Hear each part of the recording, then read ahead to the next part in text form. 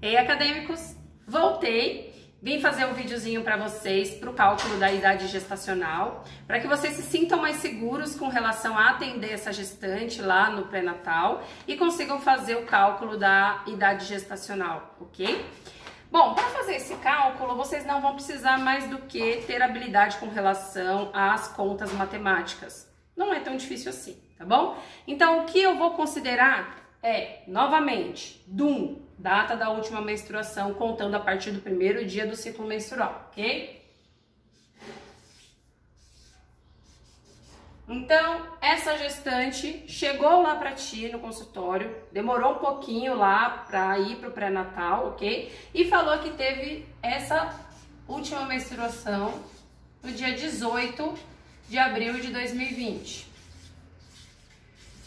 Outro dado importante que eu preciso considerar é a data da consulta, tá? Então vamos considerar que ela chegou no consultório para vocês amanhã, que é o primeiro dia útil, 14 de setembro de 2020. Ok? Bom, o que, que eu vou precisar aqui? Saber quantos dias tem o mês da minha data da última menstruação. Lembra do macetezinho que eu fiz com vocês com relação a contar quantos dias tem o mês? Então vamos lá. Janeiro, fevereiro, março, abril. Caiu na interdigital. Se caiu no meio aqui na interdigital, tenho 30 dias. Então, abril tem 30 dias. 30 menos 18. Vou colocar aqui, ó. Esse 30 é referente ao mês de abril, ó da data da última menstruação, ok? Vai ser igual a 12.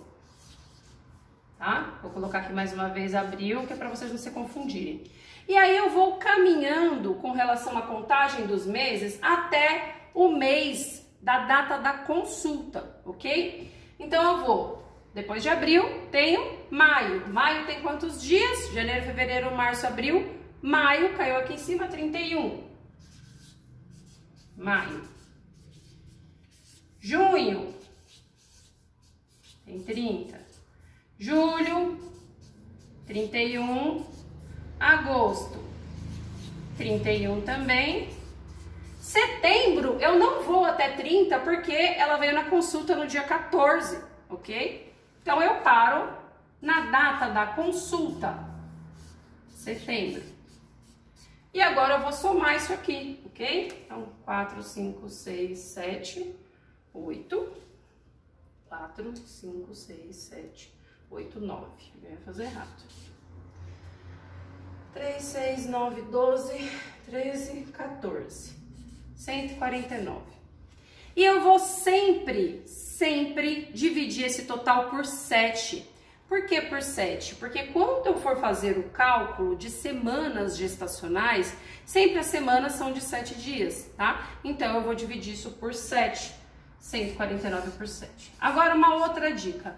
Não façam essa conta na calculadora, porque a calculadora vai arredondar e você não vai conseguir saber a questão de semanas você vai, mas os dias ele vai arredondar e esse cálculo não vai ficar fidedigno para você, enfermeiro. Então vamos lá. Lembrando da regrinha aqui tá? Do, do começo do, das séries matemáticas de vocês. Então, 14 por 7, 2 vezes 7, 14, sobra 0, abaixo 9, 1 vezes 7, 7, sobra 2. Então, significa que essa gestante está, opa, falha técnica, idade gestacional de 21 semanas e eu considero esses dois que sobraram aqui, 21 semanas e 2 dias. Essa é a idade gestacional da gestante que está fazendo pré-natal com vocês, ok? Não é difícil, vocês só precisam fazer mais treinos, tá ok?